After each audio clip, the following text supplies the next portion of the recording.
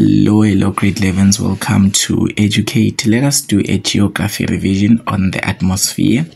So this is your term one work. Uh, we just want to make sure that everyone understands. So there are prerequisites to this video. If you do not understand pressure cells from grade 10, I strongly recommend that you watch uh, my previous videos on grade 10. The link is in the description. And you just need to understand how the earth receives heat from the sun the, the grade 10 stuff. Once you have that basic, you'll be able to cope when it comes to the heating of the earth in grade 11. So now let us start. So since we are here on earth, we do receive heat. We can feel that the sun is hot. Why can we feel that the sun is hot? It is because heat is uh, transferred from the sun um, to the earth through insolation. So insolation just is a is a term that means incoming solar radiation so this is incoming solar radiation so now for us to be able to feel the heat or for us to be able to receive the energy from the sun or the heat from the sun insolation it is just the solar radiation or the, the sun rays that come to us. So now the insolation is unevenly distributed. That is a very important thing to know that when the sun comes and strikes the earth, it does not strike in the same way. So it means that some of the areas in the earth receive more energy or more heat, some of the areas receive less heat. And why does that happen? It is because of the angle at which the sun strikes the earth. So for example, in this picture here, I've extracted this image from a Viva Africa via Africa textbook, you can see that in this picture, it is indicating sun's rays. So if I was to just draw a schematic sketch here and say this is our earth, and then this is the sun. So this is the earth, this is the sun.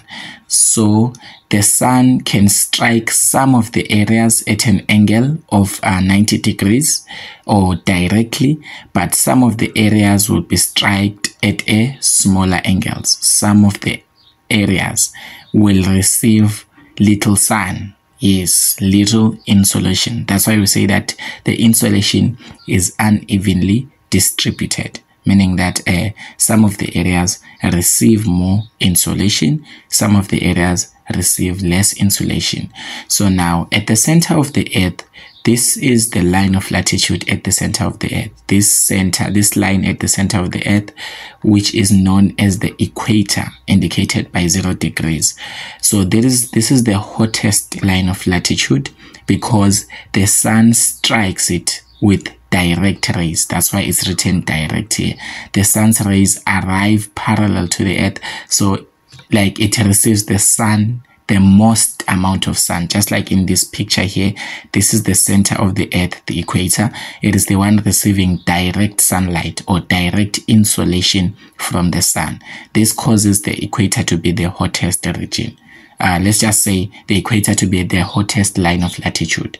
So now at the equator, the insolation strikes at 90 degrees or at a direct angle, causing it to be the hottest.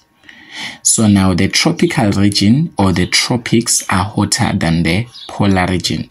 So now we need to know that uh, the regions that are closer or the areas that are closer to the equator, I'm talking about all of these areas here, we say they are known as tropics or they are known as tropical regions. You can see that the equator is directly at Africa. So it means that um, in places such as uh, the, the, the Central Republic of Congo, that's where the equator is. So it means those are the hottest regions ever. So now the areas around the equator are known as the tropics.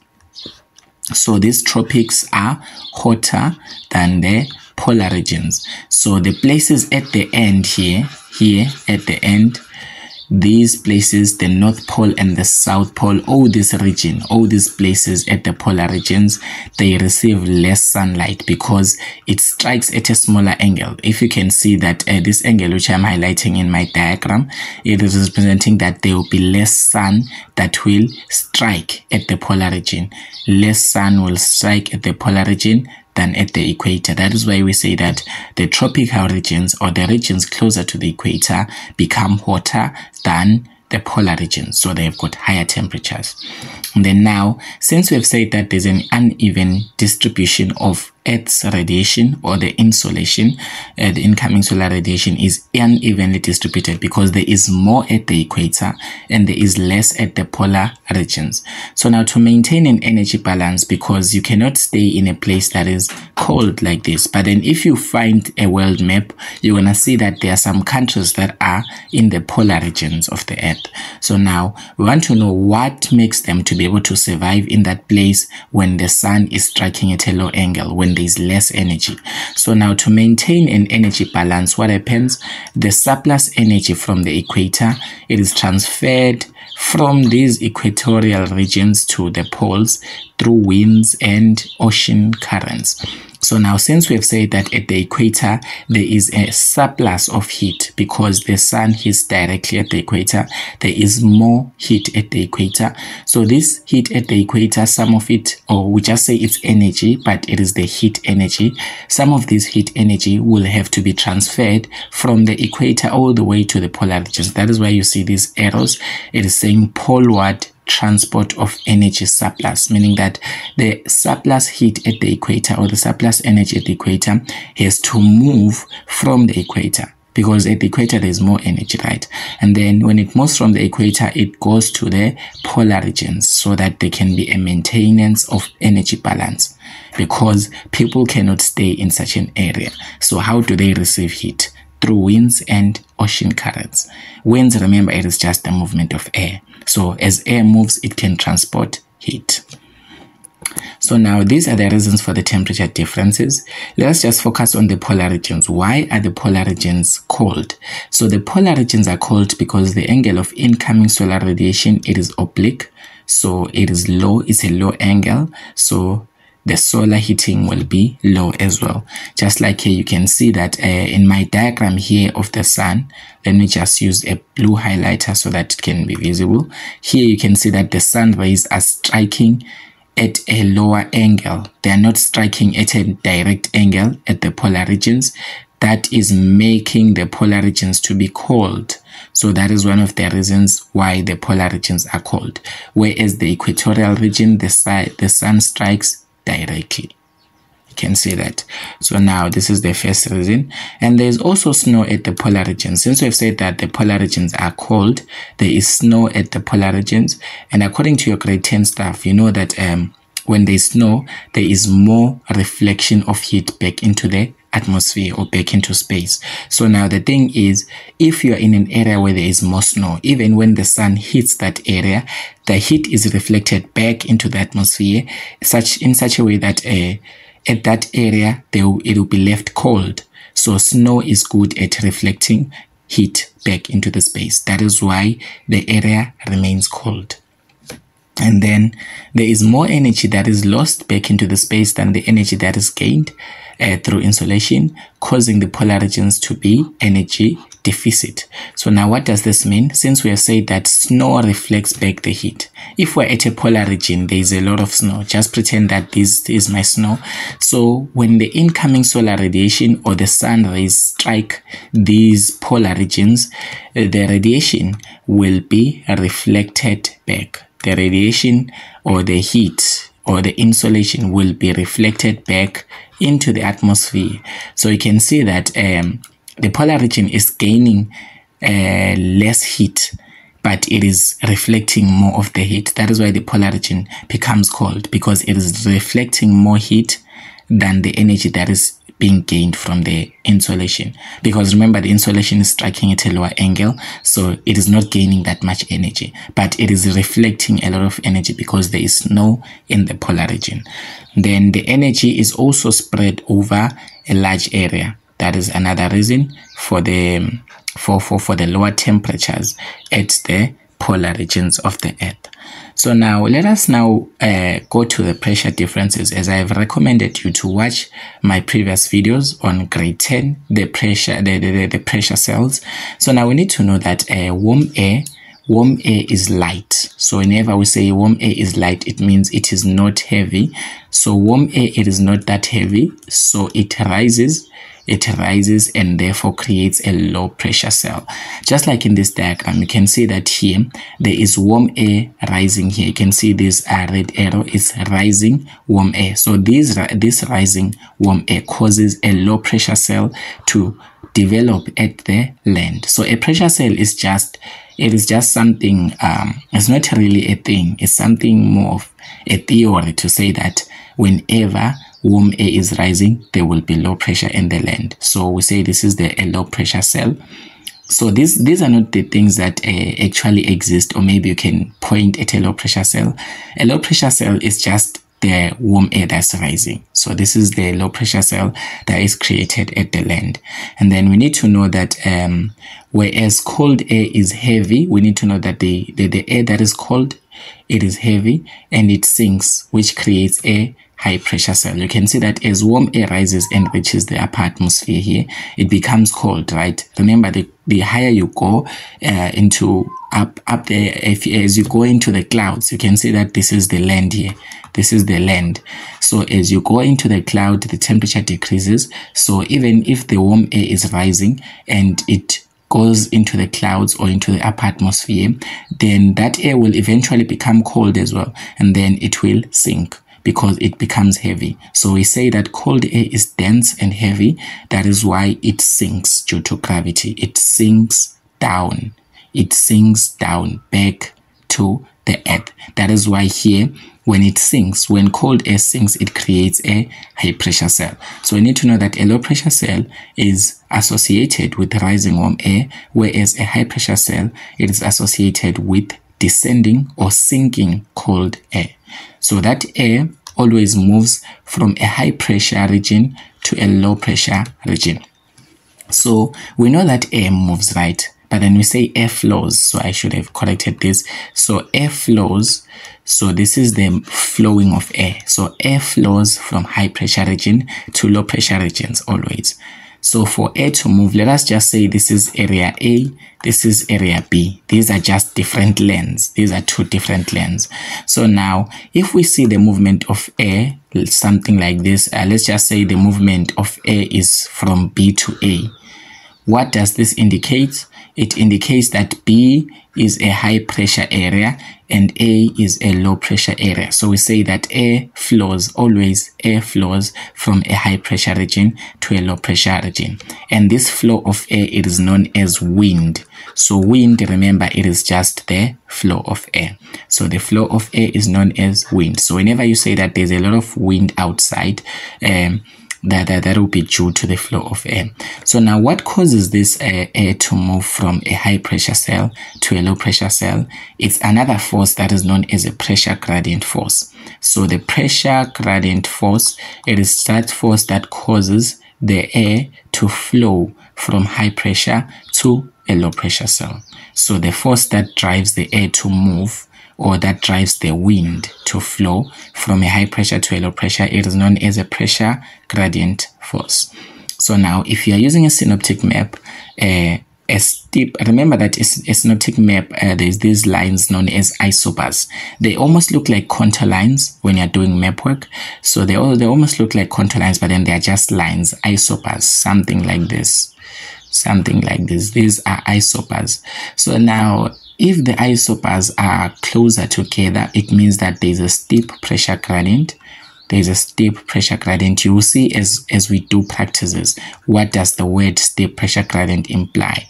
Okay, so you can see that there's a steep pressure gradient, but then if the, the, the contour lines are, they've got, the, uh, the, I mean the isobars, they are far away from each other, we say that there is a a, a, gentle pressure gradient. But um, a steep pressure gradient just indicates that there is more wind. So the closer the lines or the closer the isobars are, it indicates that the wind is a strong wind. So the wind is experiencing a lot of force because we have said that the pressure gradient force is the one that drives air to flow from a high pressure cell to a low pressure cell. So if there's a steep pressure gradient or the con the, the, the, the isobars are pegged closer to one another, it means that uh, there is a greater pressure gradient force. So there's a steeper pressure gradient or there's a greater pressure gradient force that causes the, the, the, the, the air to flow violently from the high pressure to a low pressure, causing a very, very, very, very strong wind. So when uh, isobars, uh, isobars are packed closer together, they indicate a strong wind. So this is what you need to know about pressure. So now um, we need now to know about this thing known as the tricellular, the tricellular. So this tricellular needs you to understand the pressure first. So now let us just look at it. So it looks complicated from this, uh, but then I can try to I can try to draw another smaller schematic sketch. So let me say that this is my earth. This is my earth okay it might not be that big but then this is my earth. So uh, remember that the earth is arranged in lines of latitude. There is a zero degrees line here. Then there is a 30 degrees line here. And then there is a 60 degrees line here. And then lastly there is a 90 degrees line here. So also here there is a 30 there is a 60 and there is a 90 degrees line of latitude. So these lines of latitude are the ones that are going to help us to identify how things work with air, air circulation. So now the thing is we have said that at the equator the equator is the hottest region. Why did we say that? Because the, the sun rays strike directly at the equator. So remember, and we, we now want to combine with this information that if there is warm air, the warm air is light and then it will rise.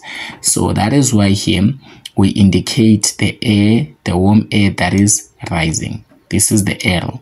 So this is the air. This is a warm air that is rising. So the warm air as it is rising, it just looks like this one. This warm air is rising up into the clouds. It is just that I'm drawing this from a side view, but then this warm air is rising into the upper atmosphere. So now as it rises into the upper atmosphere, it will cool. It will cool at the upper atmosphere. Remember that the upper atmosphere, we are referring to the clouds, right? So now when it reaches the clouds there, it is very cold. So the air will become cool. So when it becomes cool, the air will converge. So the air will converge. The other air will go this way, and then the other air will go this way. So there's um oh it will diverge i mean so there's a divergence of air in the upper atmosphere just above the equator so now the the the I remember that here the process is the process is the air at this point or the air at the equator it was warm that is why it rises so as the air rises into the upper atmosphere it becomes cold because the clouds are cold in a sense. So the upper atmosphere is colder than the earth's surface. So that is why when air reaches the upper atmosphere or reaches the clouds there, it will it will become cold. And we've said cold air sinks. Cold air sinks. Cold air sinks. So as cold air is sinking there, uh, it will sink back into the earth. But then when it sinks, it will not sink back to the equator. It will sink to the 30 degrees line of latitude. Okay. So now what will happen with this air? So some of this air will come back to the equator some of this air will come back to this equator, but then some of it will go to the 60 degrees line of latitude. This will happen both in the uh, in the um, in the northern hemisphere and the southern hemisphere. So bear in mind that the upper half of the earth it is known as the northern hemisphere and then the lower half of the earth it is known as the southern hemisphere and then it is separated by this center line known as the equator. So this is my equator. So now you can see that the air reached the upper atmosphere, it became cool and it became heavy. Remember that cold air becomes heavy and then it sinks. So when it sinks, it sinks back to the 30 degrees line of latitude. And then some of the air will now move back to the equator to rise again. So you can see that this is an air circulation. So this is a tricellular air circulation. So now this cell that is formed, we say it's a cell because it is just um, a region of air circulation. So this first cell that is formed, it is known as a Hadley cell.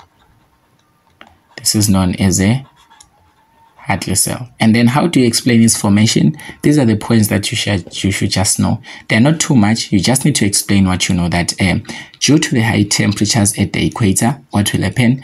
The warm moist air will rise to the upper atmosphere causing a low pressure at the equator to form. We're still going to discuss about the low pressure because uh, we haven't done the pressure belts, but you need to know that as the air, as the warm air is rising here at the equator, it will cause a low pressure at the equator. Remember that we have said that as warm air rises, it causes a low pressure at that region. So there will be a low pressure. So we say that there will be a low pressure here at the equator because um, the warm air is rising. And then it goes into the upper atmosphere and then it diverges, it diverges here or it goes different directions the other air will go to 30 degrees line of latitude in the northern hemisphere. The other air will go to 30 degrees line of latitude in the southern hemisphere. Then the warm air becomes cooler at the upper atmosphere, causing it to diverge. Okay, you need to mention that the air diverges at the upper atmosphere, and then that air will later sink 30 degrees from the equator. Just means that the air will be sinking at the 30 degrees line of latitude. It can be 30 degrees to the northern, to the north of the equator, or 30 degrees to the south of the equator. Okay, so this is the equator, 0 degrees, 30 degrees to the north, 30 degrees to the south. This is how it looks like. Then now, what will happen when the air sinks at the 30 degrees north or south of the equator, it creates a higher pressure at the 30 degrees line of latitude. So remember we said that as air sinks in our previous diagram here, cold air was sinking here because it was heavy. So it created a high pressure cell at the land. So whenever air is sinking, it creates a high pressure. So here at the 30 degrees line of latitude, there is a high pressure that will be created because the air is sinking from the upper atmosphere or from the clouds. Some of the air will go back to the equator, some of the, some of the air will move to the 60 degrees line of latitude. Do we get the sense? I hope we do. So now the thing is, um, when the air reaches the surface of the earth, it converges again at the equator forming an intertropical convergence zone, the ITCZ. So what happens here, you can see that uh, this air here that is synced to the earth or that is sunk to the earth, this one which I'm indicating with the blue, and we've said that some of it will come back to the equator right? Some of it will come back to the equator. So can you see that this air as it uh, some of it is coming from the 30 degrees north some of it is coming from the 30 degrees south. So when it meets here at the equator when it converges remember convergence just means that the air is meeting or the air is meeting. Here there is divergence. Here there is divergence because the air is uh, going separate ways. But then here there is convergence because the air is meeting at the equator at the equator. So now as it meets here, it will form a region at the equator known as an ITCZ. Yes, so this region at the equator is known as an ITCZ because the air is converging. That is why we say it is known as an intertropical convergence zone.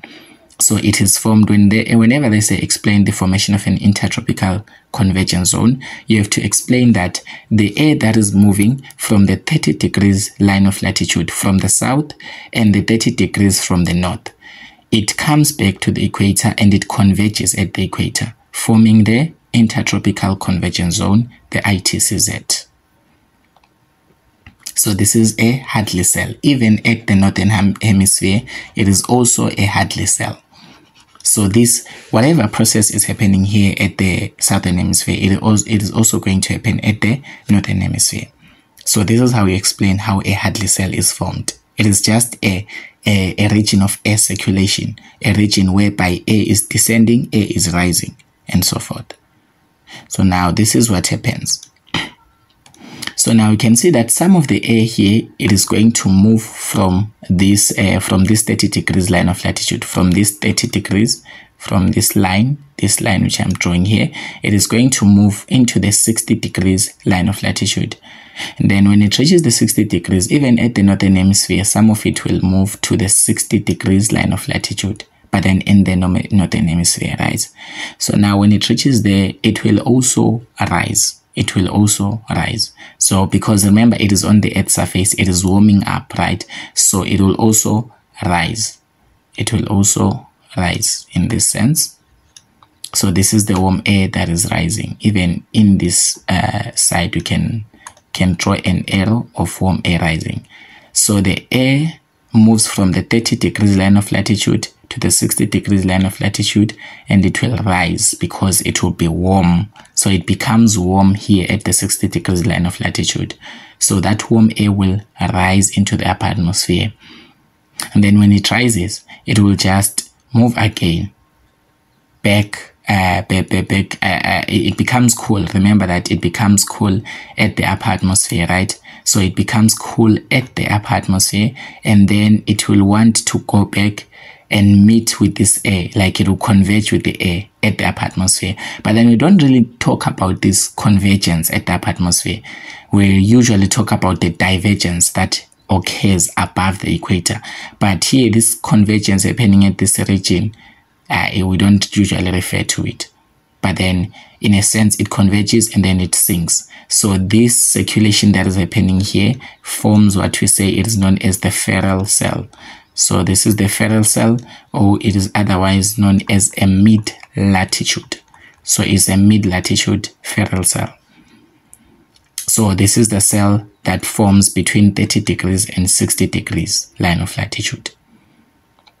To explain how it is formed, you have to mention that some of the cold air that is sunk at the 30 degrees line of latitude will move to the 60 degrees line of latitude. That's supposedly going to be a mark. Because here you can see that here, some of the air here, if I can indicate it with a, a, a this color, can see this air here that is descended at the 30 degrees surge, um, 30 degrees line of latitude moves to the 60 degrees line of latitude. And then when it reaches here at the 60 degrees line of latitude it will rise. So that's that, that is what actually happening here but then you can see that here at the 30 degrees uh, line of latitude the air is diverging if you can notice here where i'm circling here the air is diverging because some of the air is going back to the equator some of the air is moving to the 60 degrees line of latitude. So you need to know that there's a divergence of air at the 30 degrees line of latitude. But then now focusing on this one, uh, the formation of the Ferrel cell, you mentioned that some of the air, some of the air that has sunk at this 30 degrees uh, line of latitude will move, will move, will move to the 60 degrees line of latitude. And then it will warm up, of course. And then when it warms up, what will it do? it will rise and then when it rises it will uh, it, it will later sink here again so this air circulation it is the Ferrel cell that is the Ferrel cell that's how you explain it that's simply how you explain it this warm air okay this air warms up first and then it will rise so it will create a low pressure at the 60 degrees north south of the equator so it means that uh, as the air is rising here, you can see that here at the 60 degrees uh, line of latitude, there is warm air that is rising. So as the air is rising, it will create a what? A low pressure at the 60 degrees line of latitude. So here at the 30, we've said high pressure. At the 60, it's a low pressure cell. And then eventually, what will happen now? Uh, let us now talk about the last one. The last one is known as the, the, the, the polar cell. So the polar cell, how is it formed? So you can see that uh, the warm air is rising here at the 60 degrees line of latitude. Some of it will rise and move towards the 90 degrees line of latitude. And then it will descend because it is now cold. So as it moves here at the 90 degrees uh, line of latitude it will just come back to the 60 degrees line of latitude. So there is a convergence here again.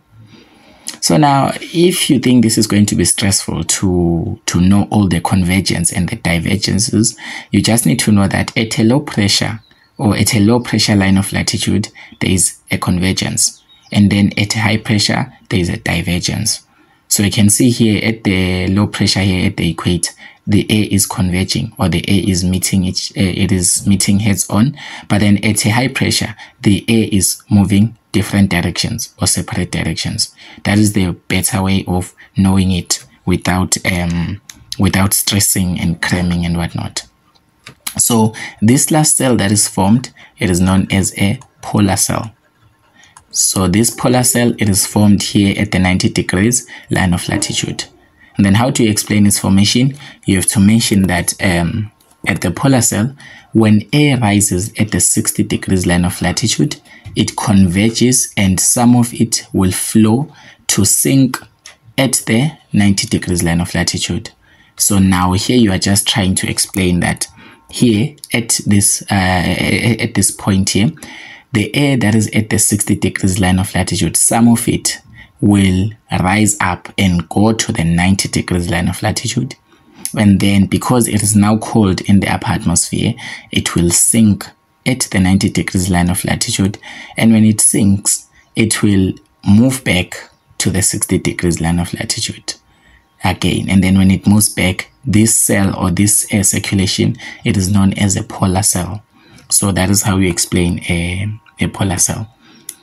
So this is forming a polar cell.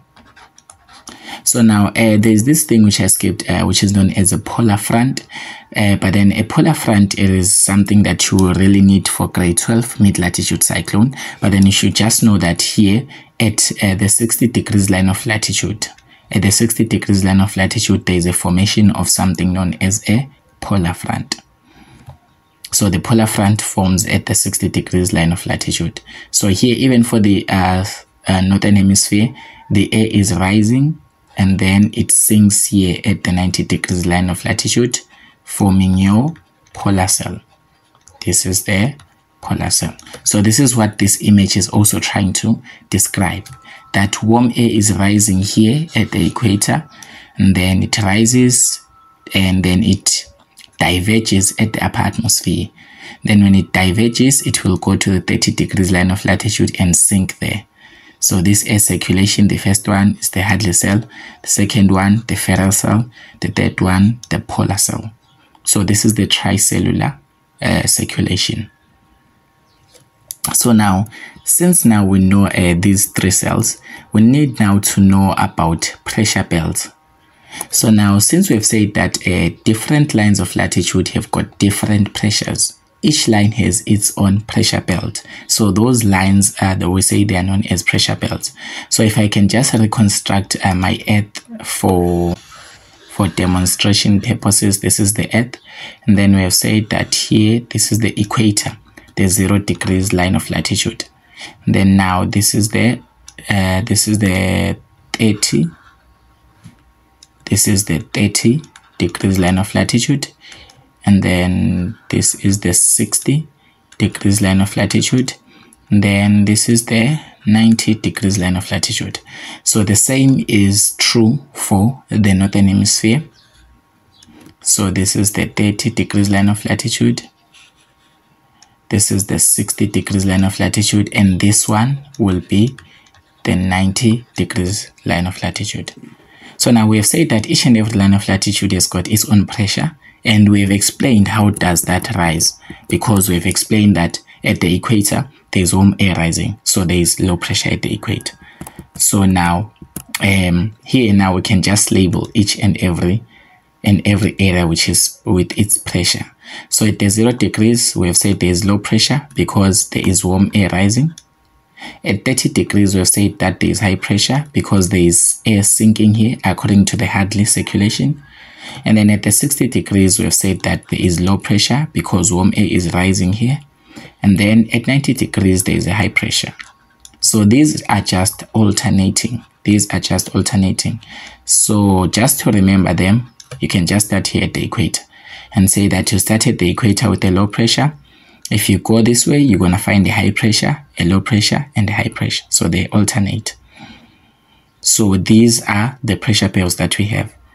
But then they have got names. So the one at the equator is known as an equatorial low pressure belt.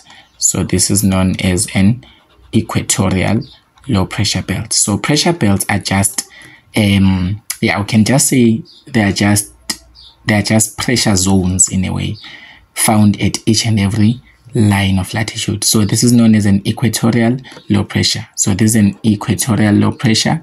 And then at the equatorial low pressure, remember that there's an ITCZ. According to this diagram, this is the intertropical convergence zone where the air converges or the air meets. And then this high pressure, we say it is known as a subtropical. So this is known as a subtropical high pressure belt.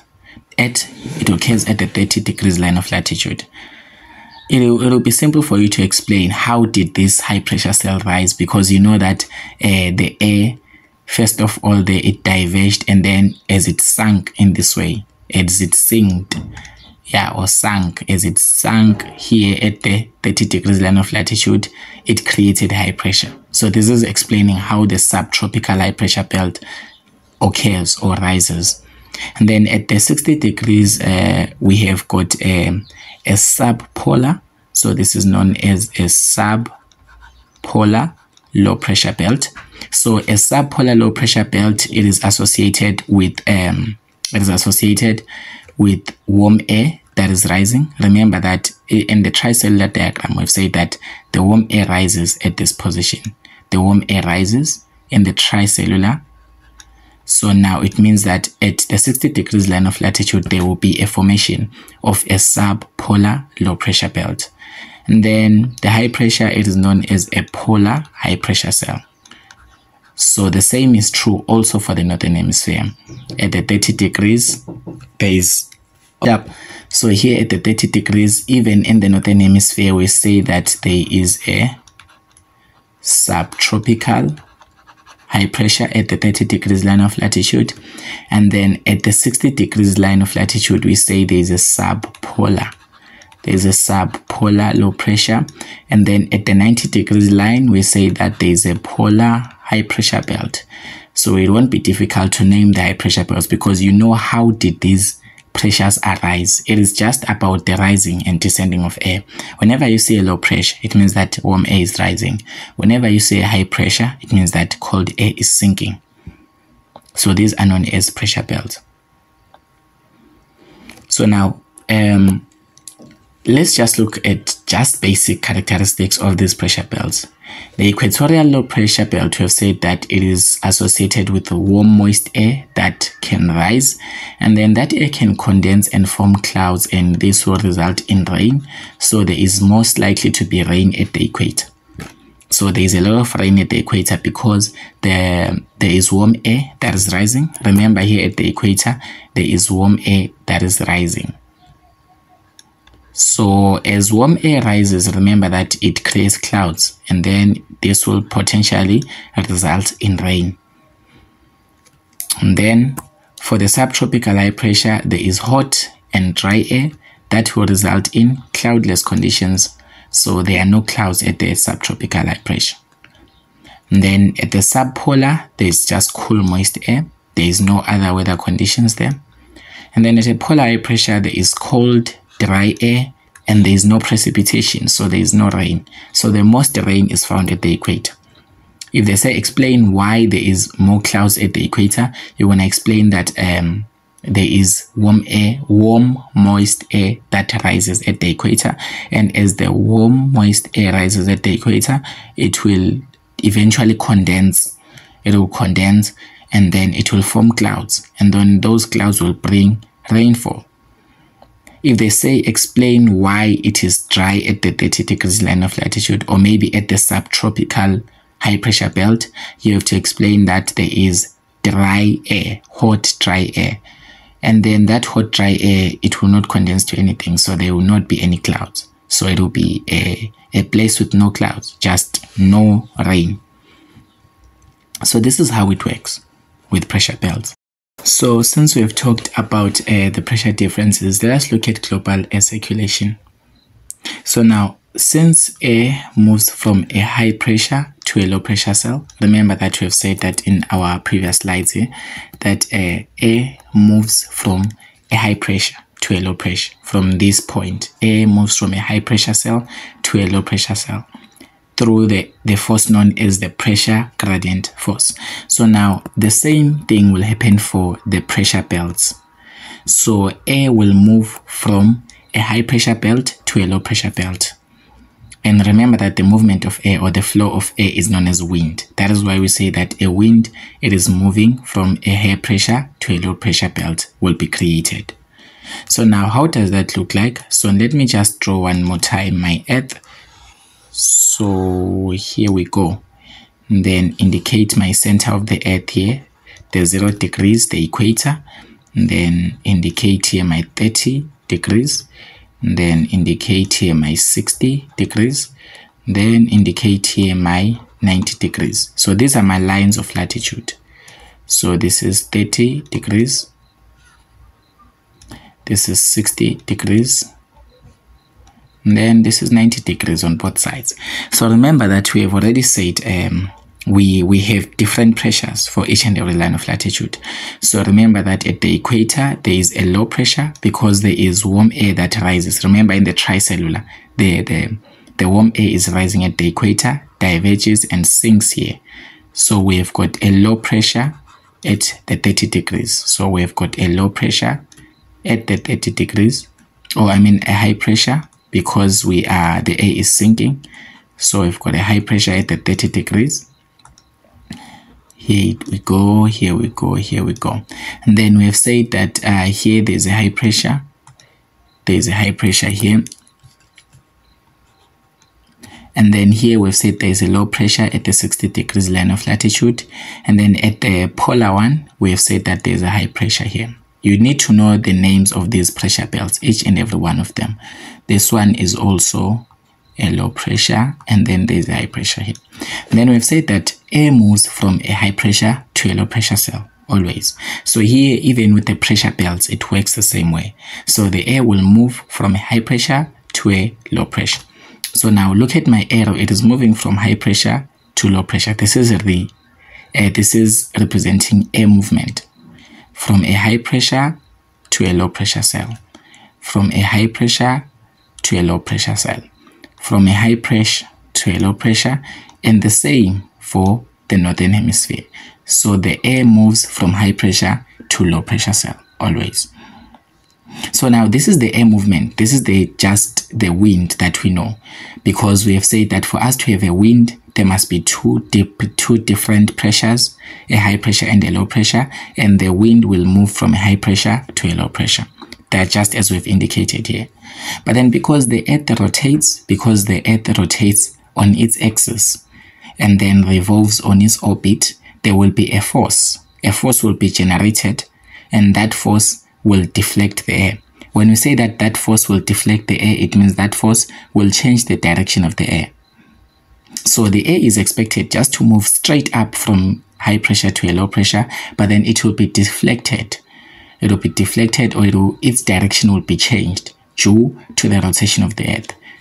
So this force that is generated by the rotation of the earth is known as a Coriolis force.